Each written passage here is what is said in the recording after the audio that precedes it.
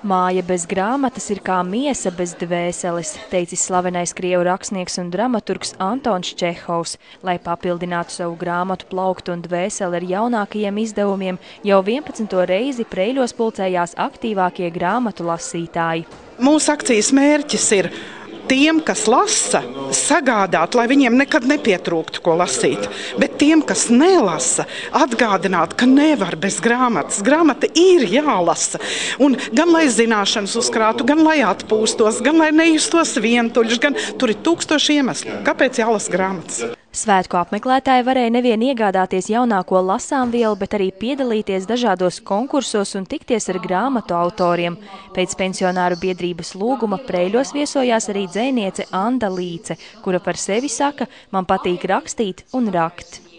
Brīžiem man šīs lietas pārklājas, tad, kad gribas rakstīt, tad ir jārūk. Bet nu, ziema, ziema būtībā, ziemā par laimi nevar rakt, ja vienīgi sniegu. Bet tā visādi citādi var rakstīt ziemā. Un es arī šodien paņēmu te dzējuļus no šo ziemu. Es arī sakārtoju savu dzējuļu krājumu manuskriptā jau tie apmēram divu gadu dzējuļi. Uz ikgadējiem grāmatu svētkiem bija sanākuši un sabraukuši ļaudis nevien no preļiem, bet arī apkārtnes pagastiem un novadiem.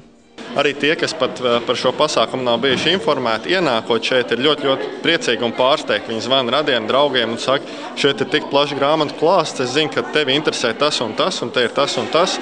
Un viņi arī pērk eh, ne tikai priekš sevis, bet lai iepriecinātu savus mīļos un tuvos cilvēkus. Iespēja sastapt tik daudzus grāmatu izdevējus vienu vietu garām nelaida arī novada bibliotekāri. Lai gan grāmatu iegādēji gada no gada tiek atvēlēts ar vien mazāk līdzekļu, lauku bibliotēkas cenšas iepriecināt savus lasītājus ar vismaz dažiem jaunākajiem izdevumiem. Es Latvijas romānu paņēmu un Monikas Zīles jauno grāmatu.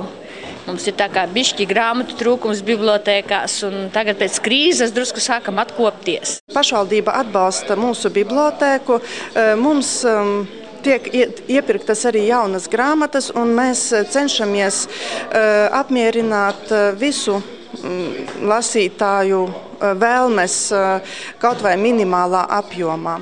Grāmatu izdevēji teica, ka finansiāli smagajā laikā noturēties palīdzot pieredze un lasītāju uzticība kvalitatīvai literatūrai. Tas mūsu lasītājs jau mūs pazīst, zina, un tāpēc mēs uh, esam par to priecīgi, augam, attīstamies. Strādājam arī ļoti daudz tieši ar Eiropas projektiem, saņemam Eiropas līdzfinansējumu, ļoti daudz grāmatu tulkošanai. Un, uh, tas arī palīdz to cenu uh, noturēt pircējiem pieņemam. Novadu grāmatu svētku ikgadējā tūre ir tikko sākusies. Visa gada garumā grāmatu svētki ar atšķirīgām programmām gaidāmi vēl 20 novados visā Latvijā.